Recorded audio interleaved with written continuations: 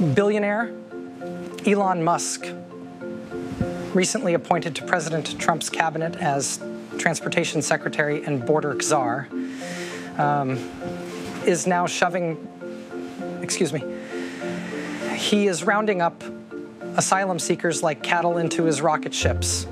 He calls them illegal aliens.